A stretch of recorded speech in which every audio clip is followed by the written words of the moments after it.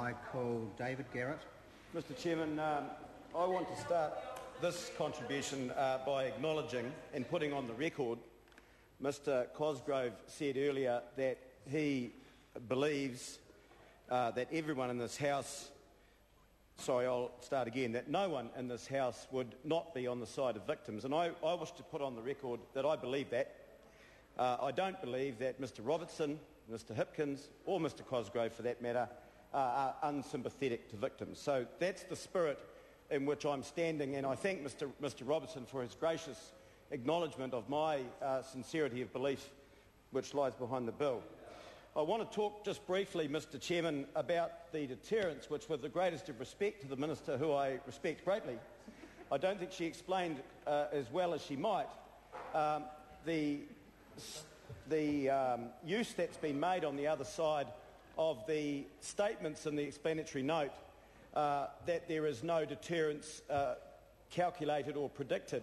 Now, the reason for that is I'm sure the other side knows, perhaps Mr Robertson, not sitting on the committee, may not, the predictions of bed numbers arose, Mr Chairman, by the Department of Corrections putting through a computer model offender statistics for the last 30 years.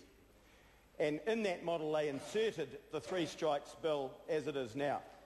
So they ran those offender statistics, hundreds of thousands of them, through the model as if there'd been a three strikes bill and, and then extrapolated that forward assuming that those trends would, that, that those stats would continue for the next 30, or the next 50 years, I'm sorry. And that's where those bed numbers come. 140 over 10, 288 over 20 years, 725 over 50. I'm not going to make any points in this contribution about distortion of numbers because that's not what I stood to say.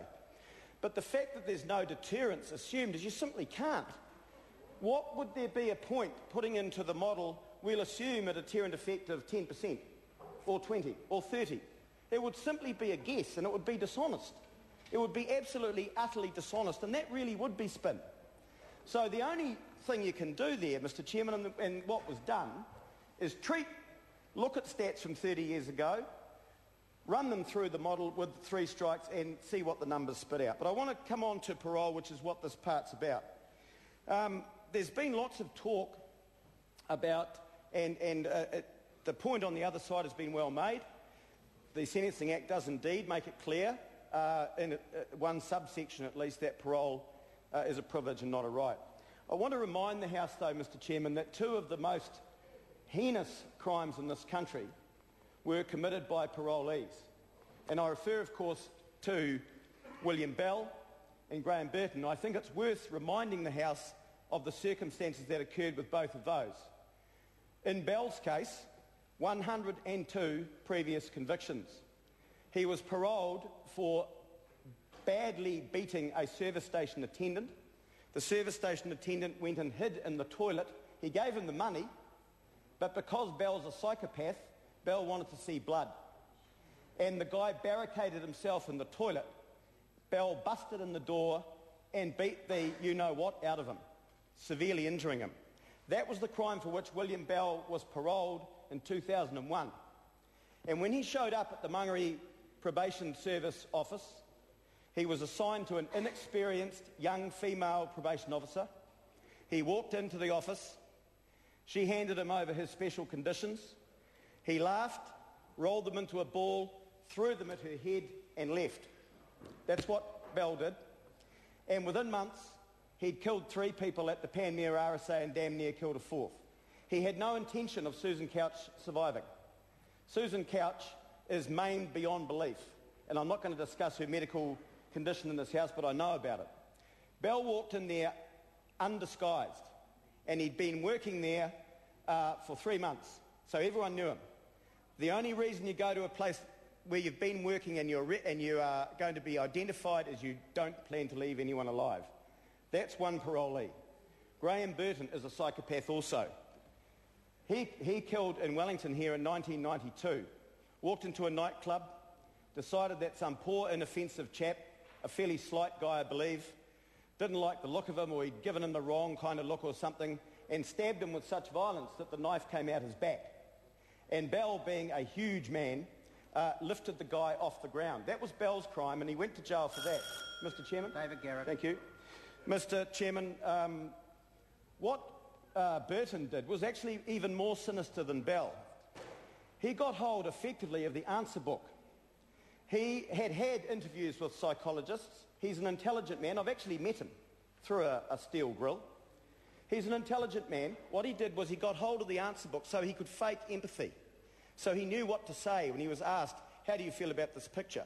What do you feel about this situation? What are your emotions here? He knew what to say. And he fooled the parole board and he got out and he killed Karl Kuchenbecker and damn near killed two other people as well. So there are two failures of parole. So we make no bones about the fact that this is a, set, this is a um, system which has steps. I'll remind the House again, step one, no change from now. Someone convicted of ag rob the day after this bill is passed will be treated no differently from today, except that they get a warning.